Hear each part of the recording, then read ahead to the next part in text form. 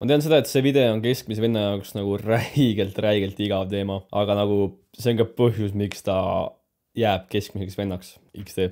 ma vaatasin kunagi kogu aeg videoid, kus ma kuulsin, raha tegemiseks sa pead lihtsalt uskuma ja kõik saab alguse usust ja sa pead uskuma, uskuma, uskuma ja siis ma olin oma, siis ma olin nagu omaette nagu, hästi sa mähid lükka see kuradi tehnika mulle, ma tahan lihtsalt raha teha. siis mingi aeg ma hakkasin proovima, ma sundisin iseennast uskuma, tegin isegi mingi uskumuspäevikuid, kus ma kirjutasin mingi vihiku lehe täis mingi oh, ma usun, et ma olen väärt edu, ma usun seda, seda, seda, seda, seda. kuid sihuke veits sihuke gei tunne oli sees ikkagist, et see ei olnud päris õige asi, mida teha. kui ma teadsin kogu aeg sisimas, et okei okay,, et see ei saa olla lihtsalt sellepärast, mis nagu see tüüp räägib, et uskumus on kõige tähtsam, aga nagu ei ole, nagu ma ei, ma ei saanud aru nagu asjast tol hetkel, kuid praeguseks ma olen mõistnud seda, et uskumused ja eelarvamused panevad meid asju tegema või siis asju mitte tegema. kui sa ei usu, et sa suudad seda tüdrukut endale saada, keda sa näed kusagil, siis sa isegi ei hakka ju proovima, ehk siis sa ei saagi. ja siis on olemas see su miks, eks ju, millest ma olen palju rääkinud, millest ka teised räägivad, kuid vaata, miks see on tähtis, on sellepärast, et see hoiab sind asju tegemas, kui olud lähevad raskeks ja see aitab sul asja lõpule viia, sest et sul on tugev põhjus. võib-olla su põhjuseks on üheksast viieni tööst vabanemine, võib-olla oma vanemate palga äramaksmise, palga, laenu äramaksmine. võib-olla sa tahad oma heiteritele või kellele iganes kätte maksta, eks ju. Need kõik on põhjused, mis nii-öelda hoiavad sind sellel äh, kursil. nii et tegelikult need asjad, uskumused, miks, eelarvamus, need ei olegi nii lambised, kui võib-olla sa arvad. ja on võimalus, et sa ei tee mitte midagi, ma mõtlen siis nagu kasulikku, midagi sa ikka teed, aga sa ei tee mitte midagi kasulikku, seepärast et sul on mingid uskumused või eelarvamused selle asja suhtes.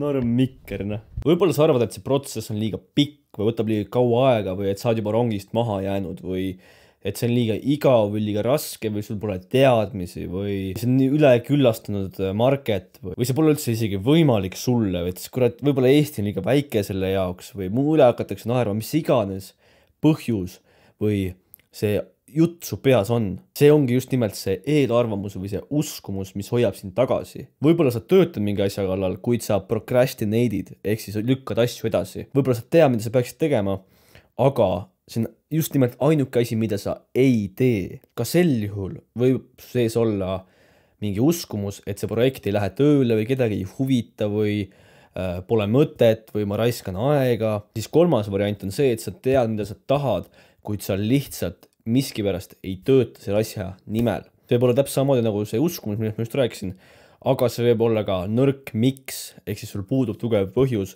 miks seda asja teha. ning vaata, kui mina alustasin oma Youtube'iga, ma nägin vaimusilmas selle asja potentsiaali ja ma nägin, et sellel on potentsiaali teha mind vabaks. sest et ma põlastasin palgatööd, eks ju, et nagu täies kõrist, sest et noh, ma olin vaimselt katki ja kõik see jutt, ma ei hakka seda rääkima uuesti. aga ma põhimõtteliselt olin valmis andma ükskõik mida, et vabaneda oma palgatööst, eks ju. ja siis tuligi Youtube mu ellu ja siis ma olin nagu oh my fucking god, see võib olla minu väljapääsutee, eks ju. siis mul tuli sihuke kuiv periood, mis kestis päris fucking kaua. esialgu läks päris hästi, sest ma panin siis äh, Instagrami postitusi üles, kui ma panin video üles, eks ju, siis sealt tuli mingi paarkümmend vaatamist. aga need kadusid ka ära, sest et need, need ei olnud nagu originaalsed fännid, need olid lihtsalt mingid tüübid, kes tahtsid näha, et mul läheb halvasti, eks ju, ja nad äh, tahtsid maha teha mind. ja see kuiv periood ongi see koht, kus enamus, enamus kahjuks kuidivad. ja miks, sellepärast et ma sain tol perioodil mingi kakskümmend vaatamist päevas videole ja ma sain mingi süm-, kümme suubi kuus ja ma sain mingi kolm laiki videole ja siis, kusjuures see periood oli ka see, kus ma sain Tiktokis nagu hullult heiti. see oli, siis oli see, kus mu see NoFap'i video blow'is up'i, vaata. ja siis äh, see sai mingi tuhandeid likee ja sadu kommentaare, kus lihtsalt pandi puid mulle. kuid ma jätkasin läbisurumist, sellepärast et mul oli tugev põhjus. ehk siis see palgatööst vabanemine, vaata. kuid muidugi mul oli siukseid perioode ka, kus ma mõtlesin, ma ei viitsi enam, sellel ei ole mõtet. lihtsalt keegi ju ei vaata, keegi ei taha seda, mida ma teen.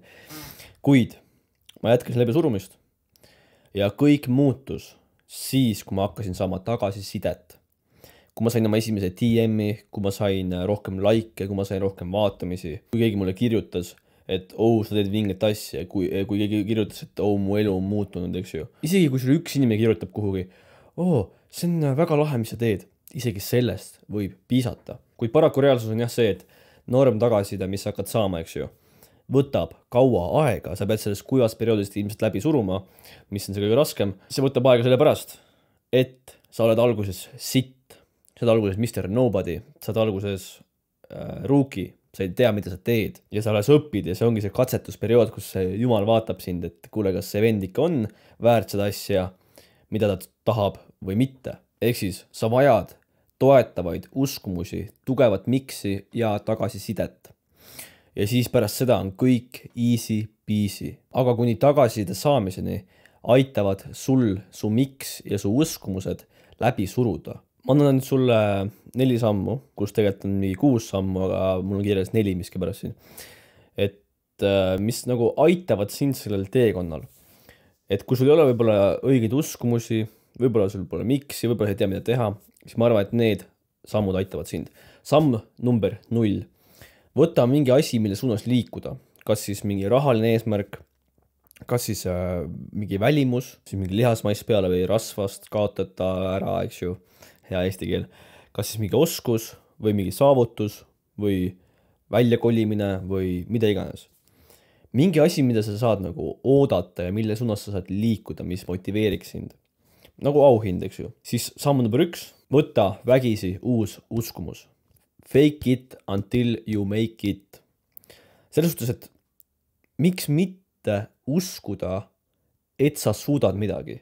on ju mingi ütelus ka, et kui sa usud, et sa ei saa hakkama või sa usud, et sa saad hakkama, et sul on mõlemal juhul, puhul äh, õigus. kui sa ütle enda peas, ma ei saa hakkama sellega niikuinii, ma ei ole selleks suuteline, mida iganes, siis sa võid ju sama hästi arvata, et ma saan sellega hakkama. näiteks sa võid endale öelda, ma suudan seda, ma saan sellega hakkama, kui ma panen sinna sisse piisavalt tööd. nii, samm number kaks, leia põhjus, miks sa seda teha tahad. mida tähtsam, või siis tähendusrikkam see põhjus sul on, seda uhkem. samm number kaks punkt üks on muuda mõtteviisi. Fail ei ole fail, vaid vajalik ehitusplokk. see on maraton, mitte sprint. rohkem loeb pikk perspektiiv ja asjad võtavad aega. ja siis see, et raskus ei ole halb, vaid just nimelt vajalik. samm number kolm on see, et tee iga päev vähemalt ühte asja, mis viiks sind kasvõi natukenegi su eesmärgile lähemale tee see endale kohustuseks või muidu lööb bussi. Äh, mina ei ütle seda sulle, vaid ütle iseendale. ma olen bussi, kui ma seda asja ära ei tee. ma tean, mõni feminist ütleks, et ma olen toksik või mida iganes, aga nagu on, mis on. suhtes, et seda ühte asja, kas nagu, mis viiks sinna kasvõi natukenegi, kasvõi mingi kolm minti tee midagigi, mis viiks sinna lähemale, eks ju. et seda ei ole ju tegelikult raske teha, see on lihtsalt meie enda aju või noh, siis sinu aju mis teeb selle asja nii raskeks või nii ebameeldivaks. aga nagu siin see koht, kus tuleb olla ettevaatlik, ära krahma endale hunnikus asju. sest et siis on ju see vastupanu nii tugev. Su aju hakkab kohe mõtlema, ah, ma pean tegema seda, seda, seda, seda ja kui sa üks päev teed, järgmine päev teed palju vähem, siis sa tunned ennast ju jällegi halvasti, sest et nagu sa tegid eelmine päev nii palju rohkem. ja üks väike sõbralik soovitus ka sulle, tapa rebane hommikul. sest mõtle sa oled äh, talumees ja kui sul on valik, kas sa tapad rebase, kes tapab sinu kanu, kas sa tapad ta hommikul või õhtul, kui ta tuleb iga päev, oletame lihtsalt, siis kumba sa valiksid? ilmselgelt iga inimene, kes normaalse mõistuse juures, kelle mata on vähemalt kolm, ütleks, et hommikul, seepärast et kui sa tapaks ta õhtul ära, siis tapaks su kõik su kanad, kanad iga päev ära ju. sa pead iga päev uued kanad ostma. nagu saad aru? ja neljas samm on siis see, et ole järjepidev. kui sa oled järjepidev, siis eesmärgi saavutamine juhtub varem või hiljem.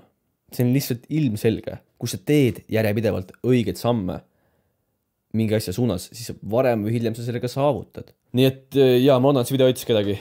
Äh, ole tubli, hoia kõva ja näeme varsti. Taimets